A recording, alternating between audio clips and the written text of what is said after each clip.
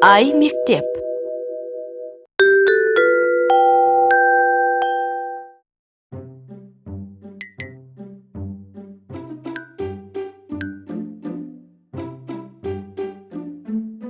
аға не әкелдіңіз? Қобдиыңызда не бар? Саған ермексаз әкелдім. Алақай маған бір қобди ермексаз әкелдіңіз бе? Жоқ мұнда ермексазбен жұмыс істеуге қажетті құрал жабдықтар салынған. Вики мынау ермексаз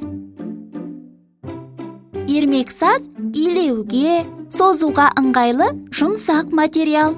Одан әртүрлі фигураларды жасауға болады. Ал мыналар ермексазбен жұмыс істеу үшін қажет құрал жабдықтар тақтайша кескіш қалақшалар сүрткіш ыдыс бояулар қылқалам ылғал қол сүрткіш жұмыс істеп болған соң қолды сабындап жуу керек.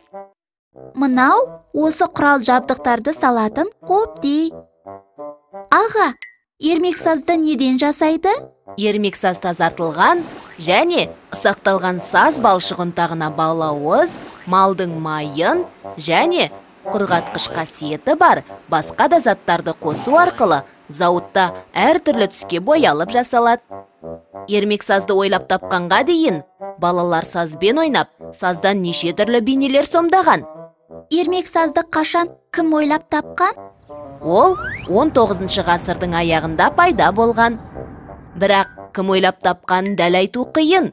Себебі оның авторы ретінде германияда франц колпты ұлыбританияда уильям харбутты атайды. Америкада ермексазды ойлап тапқан джо маквикер деп білет. бірақ ермексазды балалардың ойын құралына айналдырған балабақшада тәрбиеші болып жұмыс істеген джо маквикердің туысқан қарындасы дейді. Сонда қалай?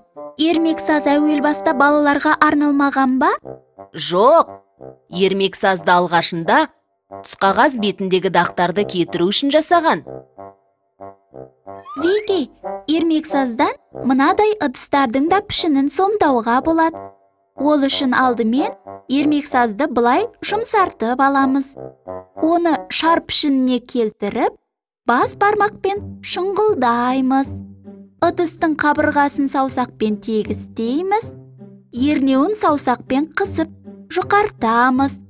Басқа түсті ермексаздан кесіп алып жіңішке қылып ширатып ыдыстың сыртын оюлап әшекейлейміз. Міне кәдімгі кесе шықты. Қане енді мен осы ыдысқа салып қоятын тағамның мысалы алмұрттың пішінін сомдайын. Әуелі ермексазды жұмсартып аламыз да алмұрттың пішінін саусақтың ұшымен сомдаймыз. Жасыл түсті ермексаздан жапырағы мен сабағын жасап жапсырамыз. Аздап жасыл түспен боясақ алмұртымыз өзінің табиғи түсіне енеді. Енді мұнда салып қоямыз. Вики ермексаздың дәмін татуға болмайды. Ол химиялық заттардан жасалған. Аға қараңыз мен ермексаздан викидің пішінін сомдап жатырмын. Дана жан жануарлар немесе адамдар бейнеленген пішінді мүсін дейді. Сондықтан викидің пішінін сомдаймыз деп айту қате. Оның пішінін мүсін дейміз. Міне мүсіндедім вики онша риза емес сияқты.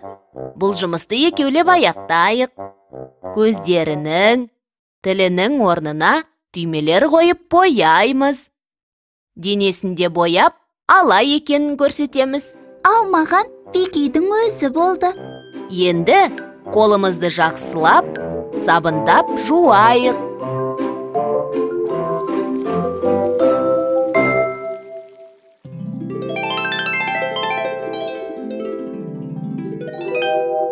Қайталайық ермексазбен жұмыс істеу. Ермексаз илеуге созуға ыңғайлы жұмсақ материал. Одан әр түрлі фигураларды жасауға болады. Мыналар ермексазбен жұмыс істеуге қажетті құрал жабдықтар. Тақтайша кескіш қалақшалар сүрткіш ыдыс бояулар қылғалам ылғал қол сүрткіш. Жұмыс істеп болған соң қолды сабындап жуу керек. Жан жануарды немесе адамды бейнелейтін пішінді мүсін дейді.